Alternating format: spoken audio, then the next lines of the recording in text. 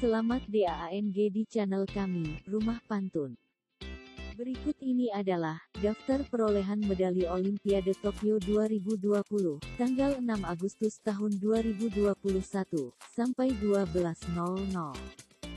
Sebelum lanjut, jangan lupa subscribe. Dan berikut ini adalah daftar perolehan medali Olimpiade Tokyo 2020 hingga pukul 12.00. China kokoh di tempat pertama dengan 34 emas, 24 perak, 16 perunggu, dengan total medali 74. Amerika Serikat di tempat kedua, dengan 30 emas, 35 perak dan 27 perunggu.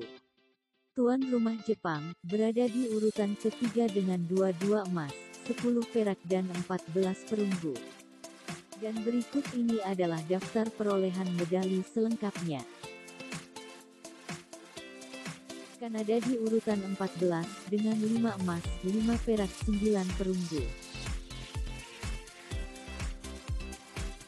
Kroasia ada di urutan 21, dengan 3 emas, 3 perak dan 2 perunggu. Iran di urutan 28, dengan 2 emas, 2 perak dan 1 perunggu. Qatar di urutan 35, dengan 2 emas. Sedangkan Ukraina ada di urutan 36, dengan satu emas, tiga perak dan 9 perunggu. Sedangkan Indonesia ada di urutan 46, dengan satu emas, satu perak, dan tiga perunggu.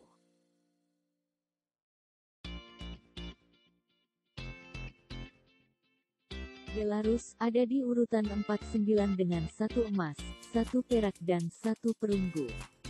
Sedangkan Filipina ada sedangkan Thailand ada di urutan 59 dengan satu emas dan satu perunggu. Puerto Rico ada di urutan 63 dengan satu emas.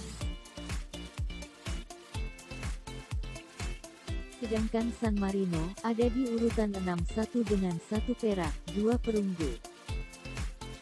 Azerbaijan, Mesir dan Meksiko sama-sama meraih tiga perunggu.